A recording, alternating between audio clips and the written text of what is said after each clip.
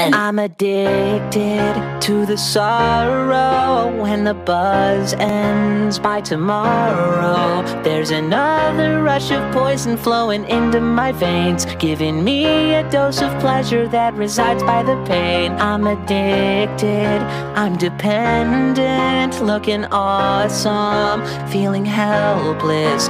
And I know I'm raising By every highway in hell. Maybe things won't be so terrible inside this hotel.